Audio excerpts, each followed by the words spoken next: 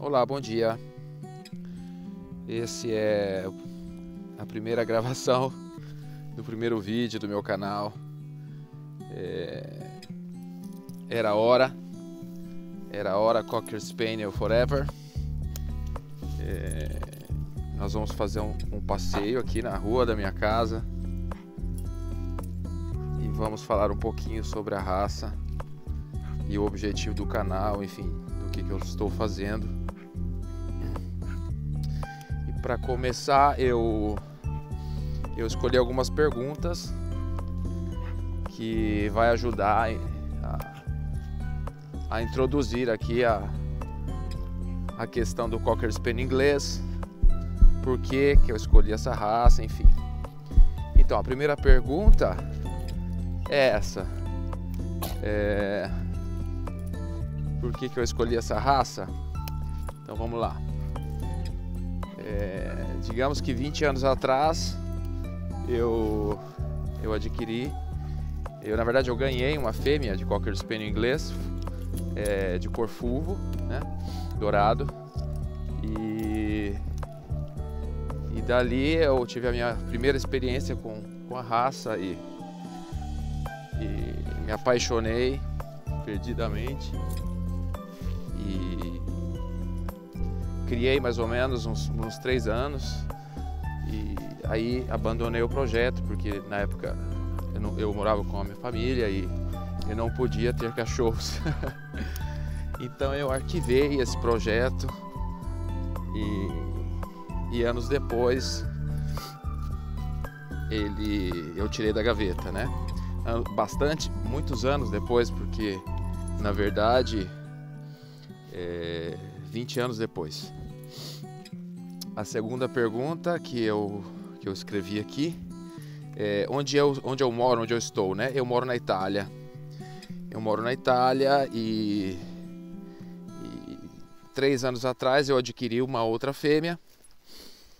Eu tomei essa decisão de, de, de criar, enfim, de.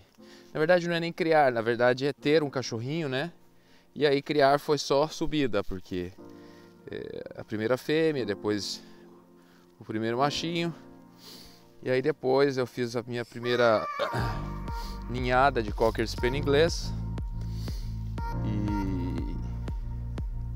e o que vocês estão vendo aqui, na verdade, é, é uma filha, né? De, um, de uma ninhada minha, da minha primeira ninhada. E em casa ficou a mãe, a fêmea alfa. Bom, todo mundo sabe que o Cocker Spaniel inglês ele teve uma introdução, ele veio da Ibéria, né, da Espanha, e depois ele teve uma evolução na Inglaterra. Os primeiros exemplares eram cachorros é, de várias dimensões, eles eram até maiores, e dali foi seguindo uma uma linha de seleção que são que foram na verdade é, selecionados pelo porte, né? Quanto menor eles fossem, é, eles seriam selecionados como Cocker Spaniel. E as raças que depois são derivadas, né, do Spaniel, foram mais ou menos a, o que ficou dessa seleção, ou seja, os maiores ficaram, ficaram sendo, sendo de os outros Spaniels e os menores ficaram sendo os Cocker Spaniels que nós conhecemos. É, o cãozinho que está à direita é um macho, se chama Logan, e ele é um tricolor Juan Light Blue. A da direita é Eva, é uma filha. Eu devo ter colocado uma foto no começo do vídeo. E ela é Dark Blue, tricolor Juan. Essa é uma estradinha que normalmente eu faço pé ali com eles, a turma, porque em três ou quatro não dá para sair assim. Eles ficam bem é, excitados, né? Eles são, que agora aqui eles estão bem tranquilos. Eles são realmente animais fantásticos, que nem o filme.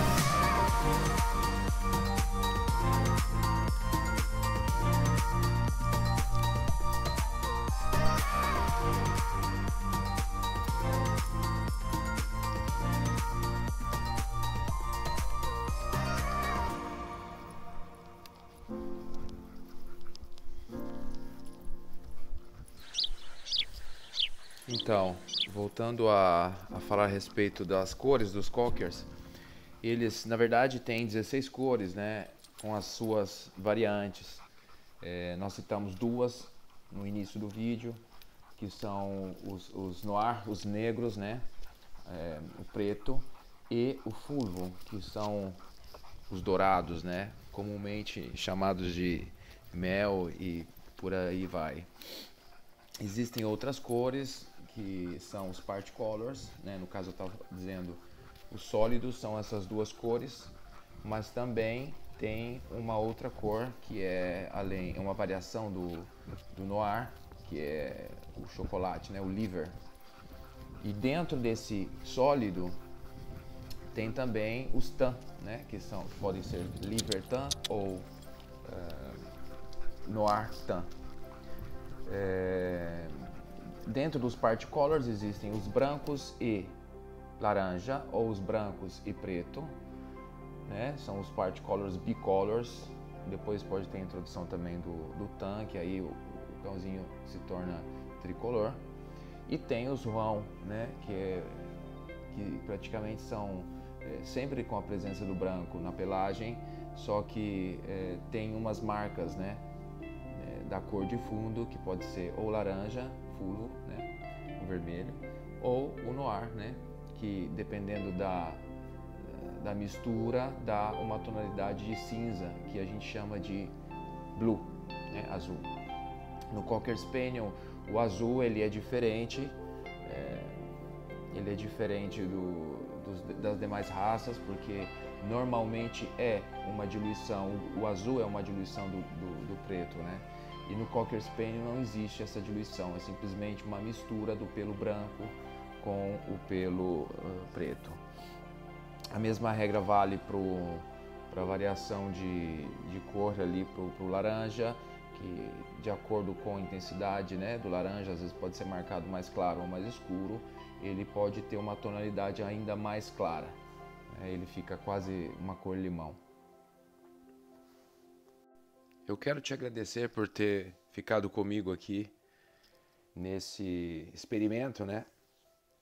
É, eu acho que eu vi que poucas pessoas têm falado do Cocker Spaniel. É um cão realmente é, formidável e sem dúvida um grande companheiro. Obrigado e até a próxima.